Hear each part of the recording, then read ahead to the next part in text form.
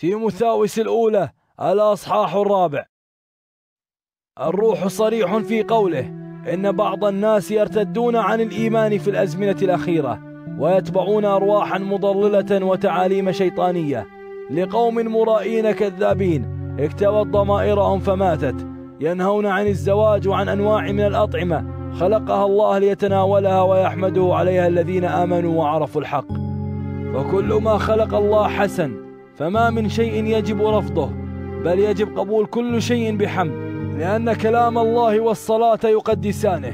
وأنت إذا عرضت هذه الوصايا على الإخوة كنت خادما صالحا للمسيح يسوع متغذيا بكلام الإيمان وبالتعليم الصحيح الذي تتبعه.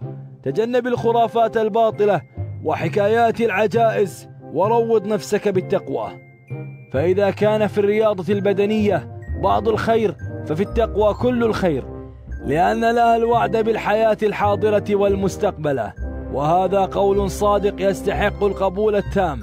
فإذا كنا نجاهد ونتعب فلأننا وضعنا رجاءنا في الله الحي الذي هو مخلص الناس جميعا وعلى الأخص الذين يؤمنون. فعليك أن توصي بهذا وتعلم لا تدع أحدا يستخف بشبابك بل كن قدوة للمؤمنين في الكلام والتصرف والمحبة والإيمان والعفاف. واظب على القراءة والوعظ والتعليم إلى أن أجيء. لا تهمل الهبة التي فيك فهي هبة نلتها بالنبوة حين وضع جماعة الشيوخ أيديهم عليك. فكر في هذه الأمور وكرس نفسك لها حتى يظهر نجاحك لجميع الناس.